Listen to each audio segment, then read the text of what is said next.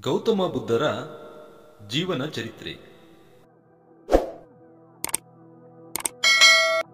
ಗೌತಮ ಬುದ್ಧ ಆಧ್ಯಾತ್ಮಿಕ ಶಿಕ್ಷಕ ಮತ್ತು ಬೌದ್ಧ ಧರ್ಮದ ಐತಿಹಾಸಿಕ ಸಂಸ್ಥಾಪಕ. ಅವರನ್ನು ನಮ್ಮ ಯುಗದ ಪರಮ ಬುದ್ಧ ಎಂದು ಬೌದ್ಧರು ಸಾರ್ವತ್ರಿಕವಾಗಿ ಗುರುತಿಸಿದ್ದಾರೆ. ಬುದ್ಧ ಎಂಬ ಹೆಸರಿನ ಅರ್ಥ ಎಚ್ಚರಗೊಂಡವನು ಅಥವಾ ಪ್ರಬುದ್ಧನಾದವನು. ಅವರ ಜೀವನದ ನಿರ್ದಿಷ್ಟ ದಿನಾಂಕಗಳು ಮತ್ತು ಘಟನೆಗಳು ಇನ್ನು ಚರ್ಚೆಯಾಗುತ್ತಿವೆ.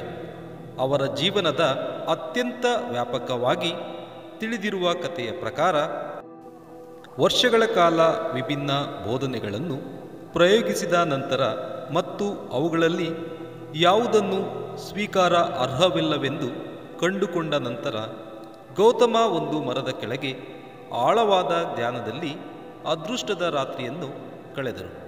ಅವರ ಧ್ಯಾನದ ಸಮಯದಲ್ಲಿ ಅವರು ಹುಡುಕುತ್ತಿದ್ದ ಎಲ್ಲ ಉತ್ತರಗಳು ಸ್ಪಷ್ಟವಾದವು ಮತ್ತು ಅವರು ಪೂರ್ಣ ಅರಿವನ್ನು ಸಾಧಿಸಿದರು. ಆ ಮೂಲಕ ಬುದ್ಧರಾದರು.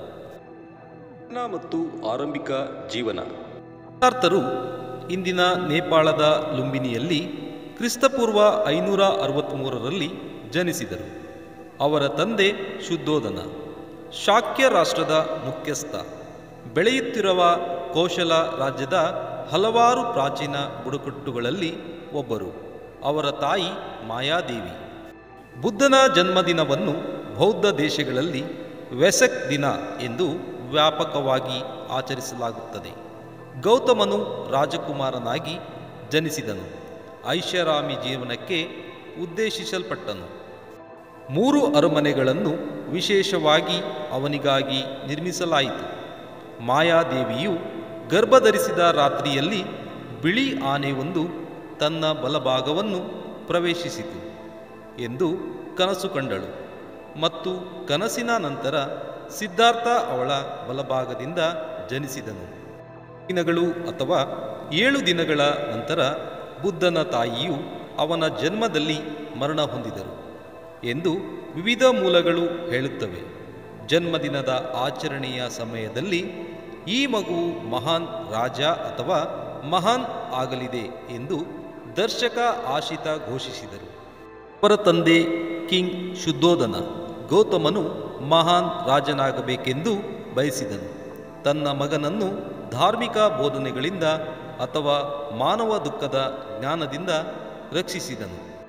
ಗೌತಮ ಬುದ್ಧರ ಮದುವೆ.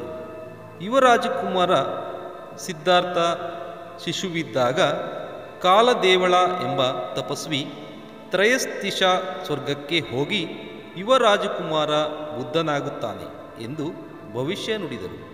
ಹುಡುಗನಿಗೆ ಹದಿನಾರು ವರ್ಷ ವಯಸ್ಸಾಗುತ್ತಿದ್ದಂತೆ ಅವರ ತಂದೆ ಅದೇ ವಯಸ್ಸಿನ ಸೋದರ ಸಂಬಂಧಿ ಯಶೋಧರ ಅವರೊಂದಿಗೆ ಮದುವೆಯನ್ನು ಏರ್ಪಡಿಸಿದರು. ಕಾಲಾನಂತರದಲ್ಲಿ ಅವರು ರಾಹುಲ ಎಂಬ ಮಗನಿಗೆ ಜನ್ಮ ನೀಡಿದರು.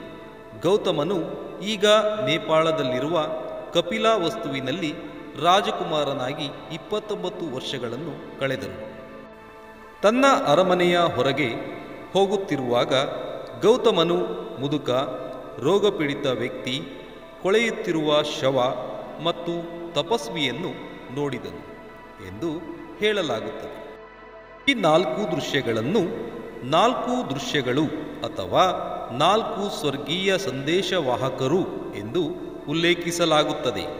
ಈ ನಾಲ್ಕು ವಿಚಾರಗಳನ್ನು ಕಂಡ ನಂತರ ಬುದ್ಧನಿಗೆ ಜೀವನದ ಸತ್ಯತೆಯನ್ನು ತಿಳಿದುಕೊಳ್ಳುವ ಕುತೂಹಲ ಆತನ ಮನಸ್ಸನ್ನು ಬೆಂಬಿಡದೆ ಕಾಡಲಾರಂಭಿಸುತ್ತದೆ. ಹೀಗಾಗಿ ಜೀವನದ ಬಗೆಗೆ ಸಾಕ್ಷಾತ್ಕಾರ ಮಾಡಲು ತಾನು ಸನ್ಯಾಸಿಯಾಗುವ ವಿಚಾರವನ್ನು ತನ್ನ ತಂದೆ ಶುದ್ಧೋಧನ ಹಾಗೂ ಮಡದಿ ಯಶೂಧರಿಗೆ ತಿಳಿಸಿ ಮನವೊಲಿಸಲು ಪ್ರಯತ್ನಿಸುತ್ತಾನೆ. ಅಲ್ಲದೆ ಆತನ ಮಗ ರಾಹುಲನು ಕೂಡ ತನ್ನ ಏಳನೆಯ ವಯಸ್ಸಿಗೆ ಸನ್ಯಾಸಿಯಾಗಲು ತಂದೆಯೊಂದಿಗೆ ತೆರಳುತ್ತಾನೆ. ಬುದ್ಧರ ಜೀವನಕ್ಕೆ ಸಂಬಂಧಿಸಿದ ಘಟನೆಗಳು ಮತ್ತು ಸಂಕೇತಗಳು. ಜನನ ಕಮಲ.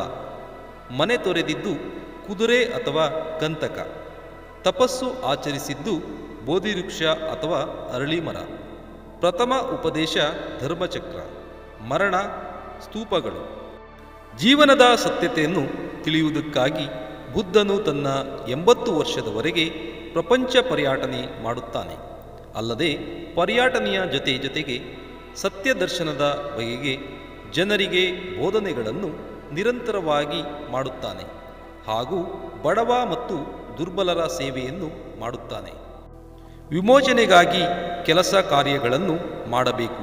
ಹಾಗೂ ಈ ಜಗತ್ತಿನಲ್ಲಿ ಯಾವುದೂ ಶಾಶ್ವತವಲ್ಲ. ಹಾಗಾಗಿ ನಾವು ಪರರಿಗೆ ಹಾಗೂ ಮಾನವೀಯತೆಗೆ ಬೆಲೆ ಕೊಡಬೇಕು ಎಂಬುದು ಗೌತಮ ಬುದ್ಧನು ಬೋಧಿಸಿದ ಮುಖ್ಯ ತತ್ವಗಳು. ಬುದ್ಧನು ಇಹಲೋಕವನ್ನು ತ್ಯಜಿಸುವಾಗ ಎಂಬತ್ತು ವರ್ಷಗಳಾಗಿದ್ದರೂ ಕೂಡ ಯಾವುದೇ ದಣಿವಿಲ್ಲದೆ ಸತ್ಯ ದರ್ಶನಕ್ಕಾಗಿ ನಿರಂತರವಾದ ಪ್ರಪಂಚ ಪರ್ಯಟನೆ ಮಾಡುತ್ತಾನೆ. ನಾಲ್ಕು ಆರ್ಯ ಸತ್ಯಗಳು. ಪ್ರಾಪಂಚಿಕ ಜೀವನ ದುಃಖಮಯದಿಂದ ಕೂಡಿದೆ. ಆಸೆಯೇ ದುಃಖಕ್ಕೆ ಕಾರಣ. ಆಸೆಯನ್ನು ತೊರೆದರೆ ದುಃಖ ನಿವಾರಣೆಯಾಗುತ್ತದೆ. ಆಸೆಯನ್ನು ತೆರೆಯಬೇಕೆಂದರೆ ಅಷ್ಟಾಂಗ ಮಾರ್ಗ ಅನುಸರಿಸಬೇಕು. ನಾಲ್ಕು ತತ್ವಗಳ ಬೋಧನೆ. ಸತ್ಯ, ಅಹಿಂಸೆ ಆಸ್ತೇಯ ಬ್ರಹ್ಮಚಾರ್ಯ.